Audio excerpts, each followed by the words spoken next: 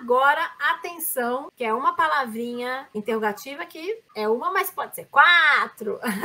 quel, tá? O que, que significa quel?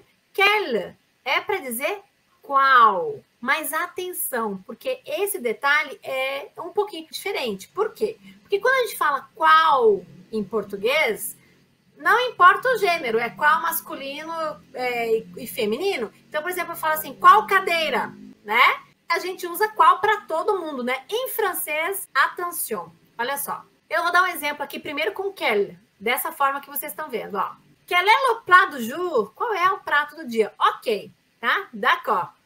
Le plat du jour, masculin, né? É masculino. Perfeito. Quel est le plat du jour? Certo? Ok. Mas atenção. Se eu for falar assim, quais são os pratos do dia, ou qualquer coisa que queira dizer no plural, masculino, plural, tá? duas observações. Masculino, plural, esse quel, que já é masculino, só que está no singular, no singulier, ele tem que ter um S para indicar plural. Mesmo que você não pronuncie, mas na escrita tem que ter. Olha só. Quels sont les moyens de paiement? Quais são os meios de pagamento? Quais são as formas de pagamento? De repente você está lá numa loja, você vai comprar alguma coisa, ah, quais são as formas de pagamento que vocês têm aí na loja? Então, olha só, estão percebendo? Ó, meios de pagamento é masculino, meio de pagamento, e é plural, né? Meios de pagamento. Então, vocês viram que eu coloquei lá um S? Por quê? Porque é plural. Então, eu mantive masculino, plural, certo? Agora vamos ver como é que faz no feminino, Verá. Como é que faz no feminino? Olha aí. Quelle, quelle est ma chambre? Quelle est ma chambre? É, chambre, ça veut dire quarto em português, né? Bien. Então, quelle est ma chambre?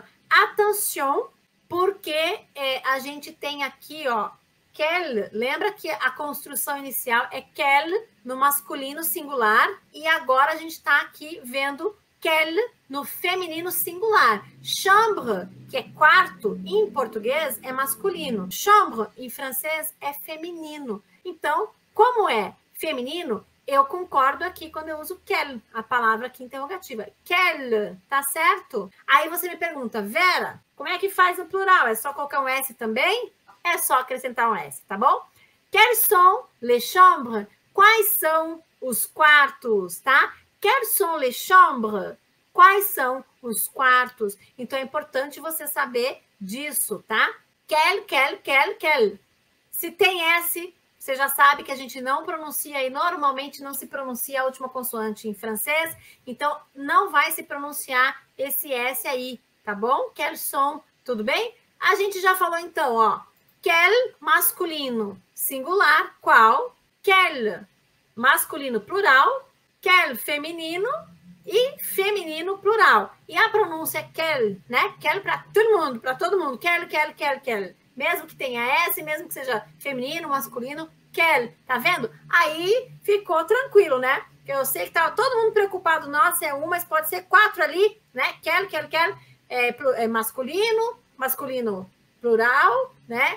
Feminino, singular, feminino, plural. Tá.